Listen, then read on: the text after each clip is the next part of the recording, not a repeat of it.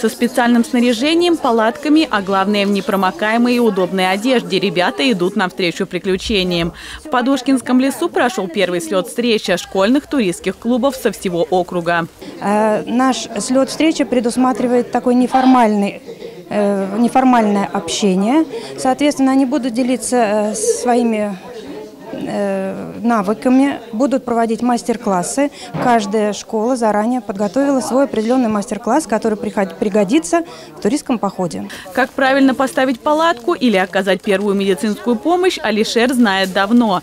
Вместе со своими одноклассниками он уже участвовал в подобных слетах. На этот раз ему предстоит узнать правила разведения костра и основы топографии. Впечатления были, были волшебные. Заблудились несколько раз. Но главное участие, а не победа. Порядка 10 школ приняли участие в турслете «Встреча». Организаторы уверены, что в следующем году количество желающих постичь туристское направление только увеличится. Екатерина Крамер, Виктор Николаев, телекомпания «Одинцова».